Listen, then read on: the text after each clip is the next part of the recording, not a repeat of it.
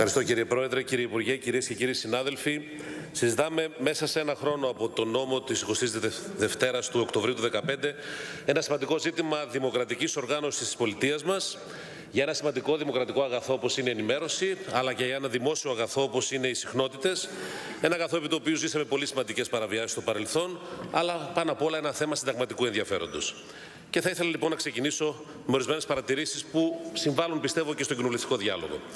Άκουσα από τον κύριο Βενιζέλο, από τον κύριο Κουμουτσάκο, πολλούς συναδέλφους, δεν έχει προσωπικό χαρακτήρα αναφορά, ότι η απόφαση του Συμβουλίου της Επικρατείας είναι μια ήττα. Να το λύσουμε λίγο εξ αρχής. Καταρχήν, θεωρώ ότι δεν είναι σωστό στην κοινοβουλευτική συζήτηση να κρίνονται αποφάσεις ανωτάτων δικαστηρίων που κρίνουν νομιμότητα πράξεων με πολιτικούς χαρακτηρισμούς και να εισάγονται στο πολιτικό παιχνίδι από την πίσω πόρτα από έμπειρους συνταγματολόγους. Όμως, εγώ να ήθελα να δούμε λιγάκι, θα ήθελα να δούμε λιγάκι ποια είναι η κατάσταση στην κοινωνία σήμερα. Η κοινωνία και όλα τα πολιτικά κόμματα που την εκφράζουν έχουν συμφωνήσει σήμερα ότι χρειάζονται άδειες στα τηλεοπτικά κανάλια, ότι τα κανάλια πρέπει να πληρώσουν τίμημα για τις άδειες αυτές και ότι χρειάζεται η λειτουργία της ανεξάρτητης αρχής. Αυτά έχουν κατοχυρωθεί στη δημόσια συζήτηση. Δηλαδή, όλα αυτά τα οποία δεν υπήρχαν 27 χρόνια τώρα, που ήταν οι κυβερνήσεις Νέας Δημοκρατίας και Πασόκ, σήμερα κατοχυρώθηκαν στη δημόσια συζήτηση. Από ποιον; Από την κοινωνία και από την παρέμβαση της κυβέρνησης που ανέλαβε την ευθύνη της κυβέρνηση το τελευταίο διάστημα. Γιατί ένα χρόνο πριν, εγώ άκουγα συνάδελφο της Νέας Δημοκρατίας, η οποία έχει ασκήσει και καθήκοντα υπουργού, να λέει ότι δεν χρειάζονται άδειες. Τώρα γιατί η Νέα Δημοκρατία λέει ότι χρειάζονται άδειες; Άλλαξε κάτι. Άλλαξε. Η κοινωνία πίστηκε ότι υπάρχει δίκαιο στην εφαρμογή του συντάγματος και ανάγκη και όπως το χωρίσαμε ιδεολογικά ο χώρος συντήρησης. Λογικό. Αναμενόμενο. Γιατί δεν το παραδέχεστε; Αυτή είναι η πραγματικότητα. Ποιος ιτήθη; Κανείς δεν ιτήθη. Η κοινωνία προχώρησε μπροστά. Αυτή είναι η πραγματικότητα που πρέπει όλοι να δεχτούμε. Γιατί δεν θα ήθελα να θριαμβολογούμε για την δικιά μας επιλογή, τη βασική που έχει κατοχυρωθεί κοινωνικά. Καταθέσατε και σχέδιο νόμου γι' αυτό. Αλλά θέλω να καταλάβουμε ότι η κοινωνία κερδίζει γιατί σιγά σιγά έχει αποφασίσει να αποτινάσει από πάνω της ένα-ένα τα δεσμά που την καρτάγανε ταπεινωμένη γιατί και η πληροφόρηση και το δημόσιο αγαθό των συχνοτήτων έλειπε από την κοινωνία μέχρι τώρα. Και το ευρωπαϊκό κεκτημένο επιστρέφει, διότι και ο Επίτροπος κακώς ακούστηκε ότι διαφωνεί. Αντιθέτως, όλα τα έγγραφα του Επιτρόπου για το ζήτημα αυτό συνηγορούν στις επιλογές αλλά και στη δυνατότητα της χώρας να κάνει διαγωνισμό, αλλά και το συνταγματικό κεκτημένο επιστρέφει. Δεν θα κάνουμε όμως τη χάρη στους συνηγόρους των καναλαρχών να αποσύρουμε ένα νόμο που το Συμβούλιο Επικρατείας επανειλημμένως έχει πει ότι χρειάζεται. Διότι αυτό έλειπε από τη χώρα και ήταν ευθύνη κάποιον που έλειπε. Η κυβέρνηση λοιπόν, για να το βάλουμε σε μία σειρά, αναλαμβάνει πρωτοβουλία και την πολιτική ευθύνη που έχει να συσταθεί το Εθνικό Συμβούλιο Τηλεόρασης το οποίο πρέπει να παρακολουθεί και την αδειοδότηση αλλά και την τρέχουσα περίοδο που έχουμε εκπομπή χωρίς παρακολούθηση. Και αυτό ξεκάθαρα αναγραφόταν στο 4339, στον δικό μας νόμο δηλαδή, κάτι που δεν είχατε τολμήσει εσείς να νομοθετήσετε, γιατί είναι συνταγματική υποχρέωση. Έλεγε ο νόμος της κυβέρνησης αυτής για το Συμβούλιο Επικρατείας. Να σας διαβάσω. Στο άρθρο 1 ανέθετε την αδειοδότηση. Στο άρθρο 2 ανέθετε όλα τα ζητήματα που είχαν να κάνουν με τις αρμοδιότητες του ΕΣΟΡΟΥ, με την προκήρυξη, το οποίο να επισημάνω και να απαντήσω και στον κύριο Δένδια, ο οποίος δεν είναι εδώ, θα το τα πει υποπτεύμα ο κύριος Κεδίκογλου, με τον ορισμό της σύμφωνης γνώμης του Εσουρού στην παράγραφο 4 του άρθρου 2, όλες οι αρμοδιότητες που κακώς αναφέρθηκε ότι είναι μόνο στον Υπουργό, δεν είναι μόνο στον Υπουργό, απαιτούν τη σύμφωνη γνώμη του Εσουρού, αλλά και η τιμή εκκίνησης προτείνουμε, και θα ακουστεί αυτό και η καθεδρή τροπολογία, να ξεκινάει και αυτή με σύμφωνη γνώμη του Εσουρού. Αλλά στο άρθρο 3 έχει την ευθύνη της προκήρυξης του ΣΟΡΟΥ, του δικού μας νόμου. Στο άρθρο 4 τα θέματα εγκυτική επιστολής. Στο άρθρο 5 τα θέματα νομοστεκοποίηση μετοχών. Στο άρθρο 6, συγχωρέστε με κύριε Πρόεδρε, μόλις έχω αρχίσει, το θέμα ποινικού μητρώου και μητρώου διαφάνειας. Το περιεχόμενο του προγράμματος, τον τεχνολογικό εξοπλισμό, το απασχολούμενο προσωπικό, τη διαδικασία διοδότησης, συμπληρωματικές πληροφορίες, το μητρό, την προεπιλογή, συμπληρωματικά στοιχεία, το πόθεν έσχε. Όλα αυτά με δική μας πρωτοβουλία ήταν στο Εθνικό Συμβούλιο Τηλεόρασης.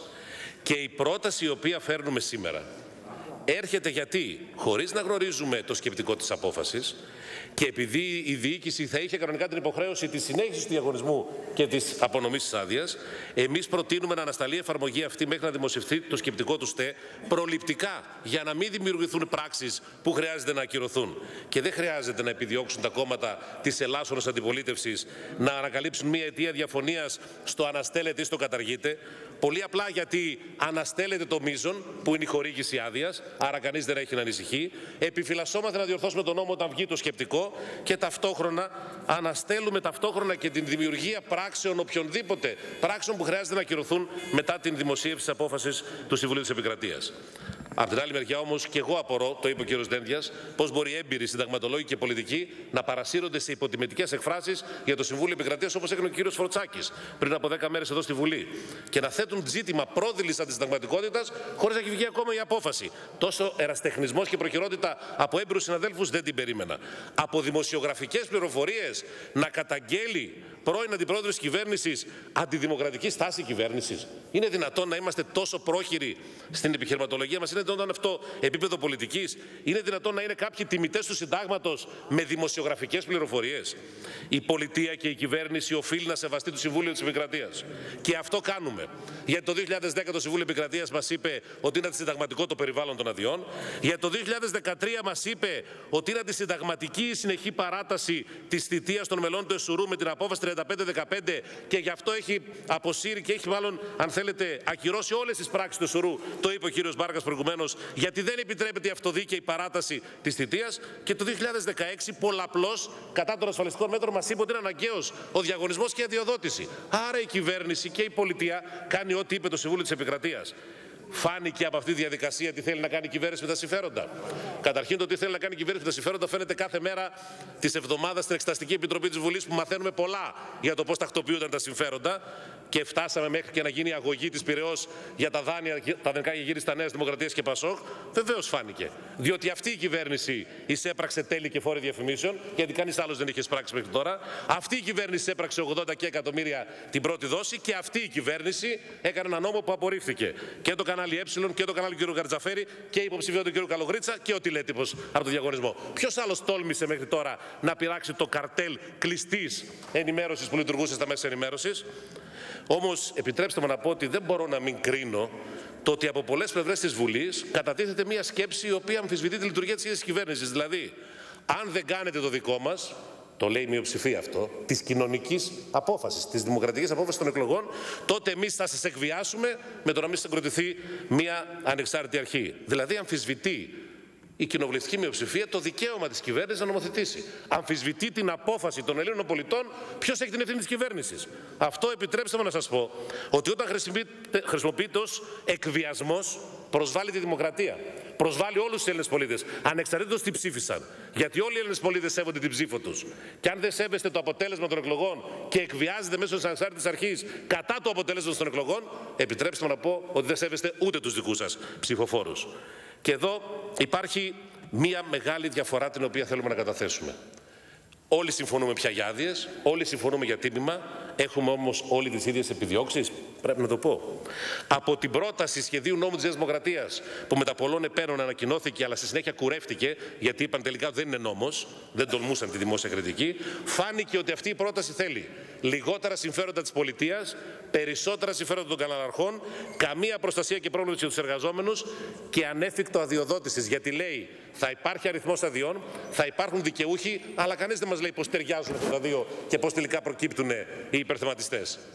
Αυτή η απάντηση μήπως είναι από τώρα μια αναρκοθέτηση γιατί δεν θέλετε ούτε ο δικός σας νόμος, το σχέδιο της πρότασης να τελειώσει ποτέ; Τελικά αναρωτιόμαστε αν ναρκοθετείτε εσείς τη διαδικασία της αντιδότηση των καραλιών. Αυτό προσπαθούσατε να κάνετε με το θέμα της μη συγκρότησης οσουρού. Γι' αυτό και εμείς τροποποιήσαμε το 2α.